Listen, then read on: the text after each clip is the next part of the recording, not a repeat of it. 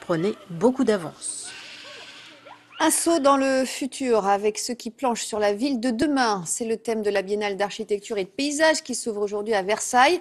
Des projets qui doivent bien sûr prendre en compte la dimension écologique. Découverte avec Antoine Marguet et Johan Dorian. Face au château de Versailles, c'est une construction qui attire les regards. Ce pavillon, baptisé Végétal et Architecture, c'est l'un des neuf lieux d'exposition de cette deuxième biennale. Ce pavillon qui a été réalisé par l'agence architecte Chartier-Dalix raconte tout simplement qu'un mur, un mur avec des pierres de récupération peut être porteur de végétation. Qu'un mur, c'est aussi un garant de la biodiversité s'il est conçu à l'origine pour avoir des trous qui permettent à la nature de s'y implanter. Car c'est toute l'ambition de cette biennale, nous faire découvrir la ville de demain, un travail de réflexion lancé par de nombreux architectes qui présentent leurs solutions.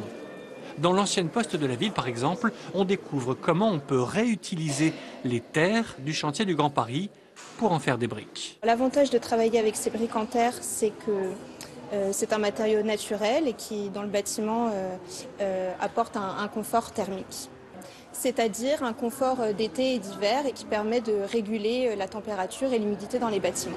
Pendant deux mois, la BAP, comme on dit ici, va proposer huit débats, neuf expositions gratuites, toutes ouvertes au grand public. Une manière de faire de l'île de France une référence pour l'architecture de demain. Cette euh, biennale architecturale, elle montre que l'île de France est pionnière dans cette invention la ville de demain. Et je dis bien invention, parce qu'il va falloir construire avec des matériaux différents. Il va falloir prendre en compte l'impact climatique. Il va falloir lutter contre le réchauffement.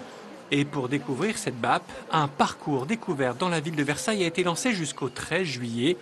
En 2019, la première édition avait attiré plus de 200 000 visiteurs. Tout plaqué pour vivre de sa passion, c'est l'histoire de